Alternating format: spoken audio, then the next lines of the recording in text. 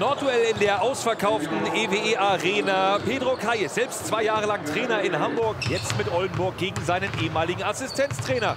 Benka Baloschki und die Hamburg Towers am vergangenen Wochenende mit dem Sieg gegen Ludwigsburg schieben sich auf Platz 10 näher Richtung Playoffs und haben einen guten Start. Jeva, der auf 12 Punkte in der ersten Halbzeit kommt, sich dann leicht verletzt bringt die Hamburger zunächst einmal in Führung. Aber dann fängt Oldenburg an zu treffen. Schormann, der eine starke Partie bietet mit dem Dreier Benka Baloschki, sieht, dass die EWE Baskets anfangen, besser und schneller zu Punkten zu kommen. Hier klasse abgespielt, wieder Schormann, der am Ende 17 Punkte verbucht, das Ganze bei 8 von 14 aus dem Feld.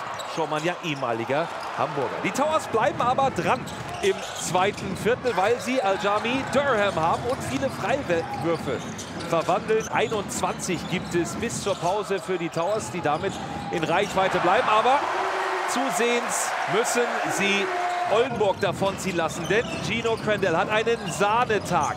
Er trifft auch gegen taffe Verteidigung, kommt im zweiten Viertel auf 19 Punkte. Am Ende sind es satte 34 für Crandall und Oldenburg kommt aus der Pause mit noch etwas mehr Energie. Selten, dass Hamburg mal so trifft. Neben Durham, der auf 22 Punkte kommt, ist Vincent King der Topscorer, 21 für ihn.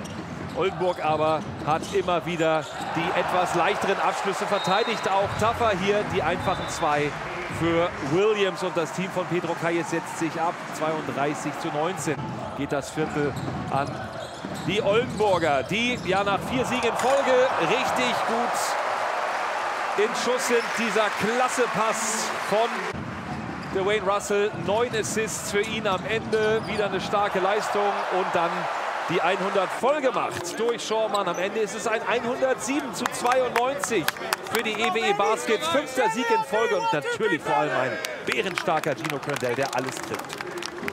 Um, you know, I think once you, you see a few shots go in, you, you kind of start feeling it and you read the way the, the defense is guarding and they were trying to go under a lot of, um, of, ball, of our ball screens, excuse me. And, um, you know, it, it, just kind of opened up the game for me to line them up and get that separation to, to have open looks. Um, I feel like the intensity of the game kind of got us out of whack a little bit in the third quarter. They came out with a lot of energy, and I felt like we, we needed to match that. They got a, a big lead in the third, and I feel like that's where we got to be better at, for sure. Die kleine Bank für die Hamburger ein Problem. Wolfgang Bottermann geschont, Jever mit leichten Verletzungssorgen. Schauen wir mal, wie es weitergeht. Dann gegen Kreilsheim in der nächsten Partie. Oldenburg mit einem Statement. Vielleicht geht sogar was noch Richtung Playoff-Plätze.